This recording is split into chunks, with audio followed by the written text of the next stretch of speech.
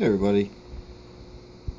Uh, I recently received in the mail my latest little gadget I've got for my aquarium. That is my Total Dissolved Solids meter. I had one in the past, but I bought a really, really cheap one, and I never really trusted the numbers. Um, so I finally got a new one. I've been meaning to get around to doing that for a while. But now that I've got it, it is time for us to get back to uh, talking about water chemistry and picking up with my layman's lectures videos.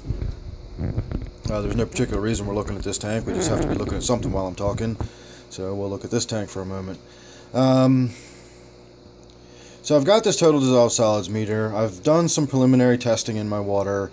I'm not getting numbers that shock me or really completely puzzle me, but I'm not seeing what I was expecting to see either. And I am getting a little bit of uh, uh, confusing numbers. Not 100% sure what I'm looking at with my water at the moment. So I am actually waiting for a call back from my water guy. I'm going to see what it costs me to get a sample of my water sent off. And I would like to get a uh, complete chemical analysis of my water so I know exactly what I'm dealing with. I would like to know what's coming out of my ground and I would like to know what's coming out of my tap. Um, but I'm getting ahead of myself. That's going to be for as the discussion continues. Uh, there always just seems to be a lot of confusion and misunderstanding about TDS, uh, even when I talk to professionals about it, and I talk to professional chemists, and we're always, you know, no, no, no, that's not what I mean. I'm talking about this, and I'm talking about that, and it gets really confusing, and it, I mean, it, it really does. The the total dissolved solids your pH, your hardness, and that means your temporary hardness, your permanent hardness, your carbonate hardness, your general hardness. All of these have different meanings and definitions, and they all impact each other in their own way.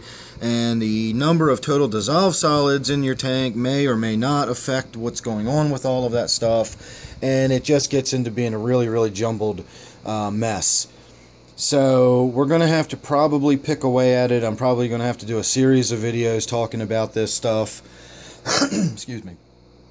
And I guess I'm going to get started uh, tonight. Uh, and we're going to just, I guess, start by defining what TDS means. It means total dissolved solids. And it's as simple as that, ladies and gentlemen. Um, it doesn't really tell you a whole lot, to be honest with you. It tells you the total number of dissolved solids in your water. And by dissolved solids, I don't mean um, silt or sand or suspended solids. I mean dissolved solids that are actually dissolved in solution in the water. It's it's a measurement of the number of free ions that are in your water that are not water ions. So they could be anything. You could have sugar dissolved in your water. You could have, um, you know, sulfur dioxide dissolved into your water. Uh, you could have almost anything dissolved into your water, and all of that would count as total dissolved solids. So you've got this number. Let's just say you've got 300 parts per million total dissolved solids all that tells you is that you have 300 non water ions in your water for every million water ions you have, um, or water molecules you have. So now you need to start picking away at finding out what those ions actually are. Are they copper?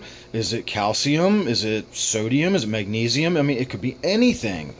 Um, if you store your water in um, something that water dissolves. You know, if you store your water in, say, an earthenware uh, container, what that container is made out of is slowly dissolving into your water, and that's going to affect the TDS number. So, when we start thinking about measuring our TDS to find out what's going on in our tank, too many times I've seen that number alone relied on as okay, now you've got this number, let's start making decisions about what we're going to do to our tank. Um, if you look on your city or county municipal water supply, they will generally tell you, or if you look at these sort of guidelines, um, they'll give you this really vague sort of like 100 to 150 parts per million is very soft water and you know 150 to 200 is moderately soft and and they give you all these numbers and they say you know anything over 500 parts per million is considered very hard and unsafe to drink and if you don't really understand what's going on with that statement, I can understand how you would take that as very definitive, but it's not. It's uh, it's a it's a safe statement. It's a statement that they can make to say, okay, well, if those numbers are what we're talking about, if it was bad stuff, then that would be a lot of it. So let's just say that number. But you can have 500 parts per million dissolved stuff in your water that's completely harmless and does not affect the water's hardness at all and yet you've still got them in your water. Now, like I said, this is going to get really complicated. I've got a lot of parts per million dissolved solids in my water. I'm not going to get into actual numbers right now, but a lot of those parts per million are sodium. And the reason they're sodium is because I put them there. I know it's sodium because I put them in there with my water softening system. I'm actually pulling ions out through an ion exchange resin and what is exchanging for the ions I'm pulling out is sodium ions. That's what I'm putting back in. So in my case, I actually have a few things I can work with to begin understanding what that total dissolved solid number represents. Um, I can look at my source water coming out of the ground and I can measure the number of total dissolved solids in that. I can then measure the number of total dissolved solids in my tap water and I can do some calculations. I know what the exchange rate is. It gives me a rough idea of what I'm pulling out. It gives me a rough idea of what I'm putting back in. And since I know what I'm putting back in, uh, it gives me a pretty good idea of what's what with that TDS number. I also uh, am able to check my before and after pH because pH is affected by your total dissolved solids depending on what those dissolved solids are. Again, this is going to get a little confusing, but some ions dissolved in your water, some very common ions dissolved into your water, would be calcium and magnesium, and both of these account for water hardness and keep pH buffered at a fairly high level. They're, they're very uh, alkaline buffers. So in those cases, if that if you know if you say, oh, I've got 300 parts per million in total dissolved solids, and it was calcium and magnesium, then you could say, yeah, you've got pretty hard water, and you'd probably have a pH of about 8.2 coming right out of the ground. Um, and those would be known quantities, and you could sort of correlate them together. You could look at the TDS number, you could look at your pH, you could do a water hardness test, and you could put all that information together and deduce what number is what. You know, I've got this many calcium, and I've got that many other things, and so on and so forth. So, without real serious scientific testing equipment, your TDS number really is only giving you sort of something to start with. That's giving you like a basic number of, all right, you've got this much something in your water. Now we have to go about figuring out what those somethings are. So there's different ways to do it, like I said, and it gets really complicated and confusing because some things affect pH and some things don't. Some things affect water hardness and other things don't. Uh, I actually have a very high number. If you just looked at the number of parts per million, you'd say I have pretty damn hard water. When you actually do a water hardness test, you'll find out, holy crap, I have zero hardness in my water, or sometimes it fluctuates all the way up to almost one degree of hardness. I have very, very soft water yet I've got a lot of dissolved solids in it. And that's mainly because I got a lot of sodium in it. Now, I also am right on that borderline of not too much sodium, and it makes my water very versatile, but very odd. And there's some fish that simply cannot live in it. Uh, there's some fish that I can live, uh, keep in it if they were captive bred, but I cannot keep their wild caught cousins. Uh, it's just because I have too high of a TDS number.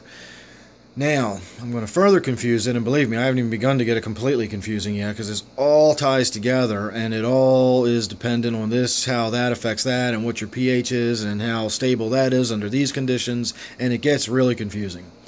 But in my water, with my sodium, sodium does not buffer, I mean, sodium buffers pH up and it holds it at a much higher pH but it does not account for hardness. So you can put all the sodium in your water you want, and it will not make your water any harder.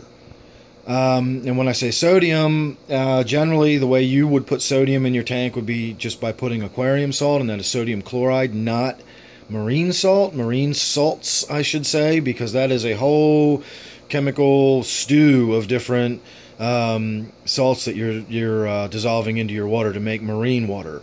Aquarium salt is simply sodium chloride. So when that dissolves into your water, you are increasing your parts per million of total dissolved solids. Some of them are going to be sodium, some of them are going to be chloride. Um, that is not going to raise the hardness of your water. Sodium does not affect the hardness level but it will buffer your pH up. You'll if you have um, a fairly stable neutral pH, and then you start adding aquarium salt, you may notice that suddenly you've got a 7.3 pH, and you're wondering what in the world's going on here. Um, it's the sodium that's doing it. Um, you you you can just dig forever and and keep learning about how everything affects everything in your water uh, that's why I do so many videos about water chemistry. It's absolutely fascinating to me. And you can just learn about it forever.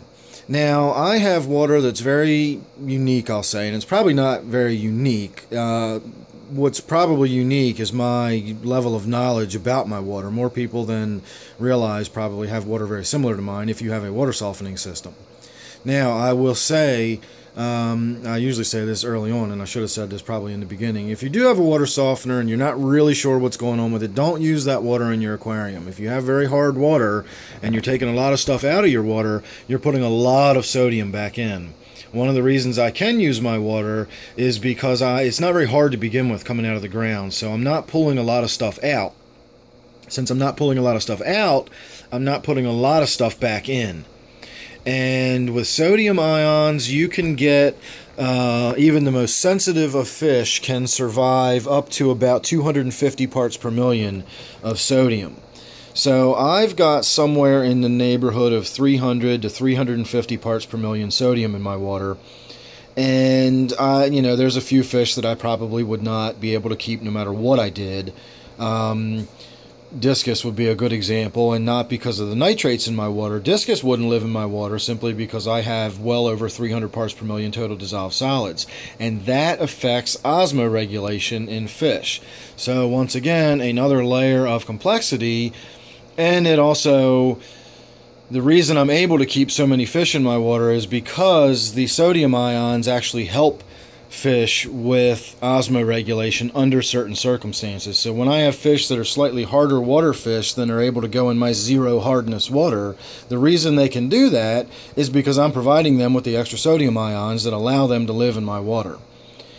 Um, are you confused enough yet? Have I got this complicated enough?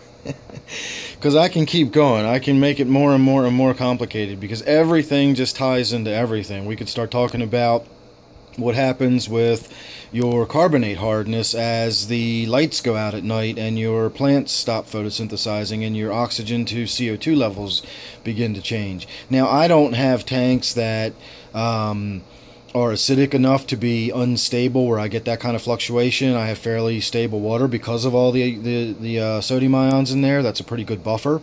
Um, so I don't really over, undergo a, a, massive pH shift at night or anything like that, but you can. And the water you pour out of your tap, if you check the pH and then you let it sit in a bucket overnight and you check the pH again, it's very likely that your pH might be different because dissolved um, carbon in the form of CO2 is carbonic acid. And when you have a lot of acid in the water, it lowers your pH. So as the bucket sits overnight and the water degasses, you actually lose all this carbonic acid as it comes out of the water and your pH slowly rises. And you might find out that, you know, you've been checking your tap water and you've got this neutral pH or you've got this 6.8 pH or something, and then you check your tank four or five days later and you find out suddenly that you actually have 7.6 pH or something like that. And if you've ever been puzzled as to why in the world your pH goes up after you've put it in your tank, try doing that one time. Try putting it in a bucket, letting it sit overnight, put an air stone in it, you know, or a circulating pump and move it around like it would be in your tank and then check the pH 24 hours later. And if it's different, now you understand a little bit more about what's going on in your tank. It's the uh, dissolved carbon that's coming out of your water, and that all counts for total dissolved solids. So this, like I said, is just kind of going to be the opening volley to really, you know, gear you up for whether you even want to waste your time trying to follow along with all of these uh, bouncing balls that are going to be going in every different direction, but all tie together and all interact with and affect each other. So lots of fun stuff if you like. Uh, you know, sort of the nerd aspect of keeping fish and learning about what's happening with the water and all the science behind it, because that's what fascinates me uh, behind it. Uh, the first time I heard the words nitrogen cycle and looked that up, I, I was in love with fish keeping. I it just it opened the door to a whole entire world that worked within itself. It just it was amazing and fascinating, and I have not stopped yet. So that will be our opening volley. Uh, please feel free to leave any questions, comments. Uh, if there's anything that you feel you don't fully understand and want me to go into more detail, uh, let me know. Again, as this video series continues, we'll be going into lots and lots of different aspects of total dissolved solids. I want to get my water uh, looked at more officially. Uh, so we can start putting those numbers together and finding out what they all mean and why my water is the way it is. I've still got my water system video in the works that I'm going to put together, and that'll all tie into how my water works and what all the dissolved solids are and where they come from and why they're in there, etc., uh, etc. Et I, like I say all the time, I've got really, really complicated water, and it's uh, it's very unusual water. So, please feel free to comment. Thanks for watching this. If you haven't subscribed, go ahead and do it. Don't want to miss any of these updates. All right, I'll see you, everybody.